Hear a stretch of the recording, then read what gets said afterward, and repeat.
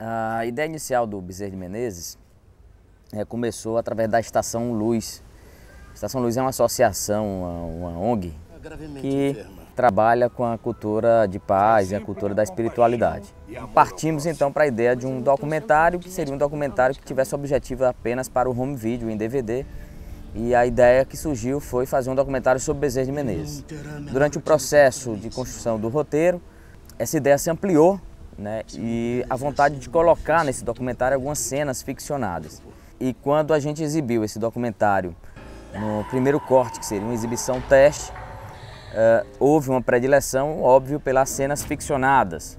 Então o desafio aí passou para a produção, né, porque os produtores é, queriam substituir o que seriam de depoimentos e documentos que estavam no documentário por cenas ficcionadas.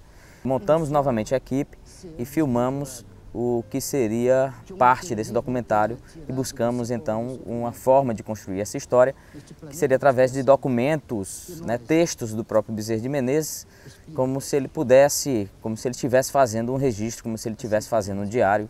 Daí saiu o Bezerra de Menezes, o Diário de um Espírito.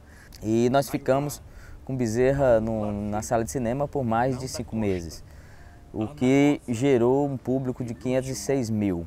Né? Então, uma produção pequena, com todos esses fatores, né, com esse número de cópias, é, chegar a, a, a esse resultado, de fato despertou no mercado um interesse por esse tipo de tema.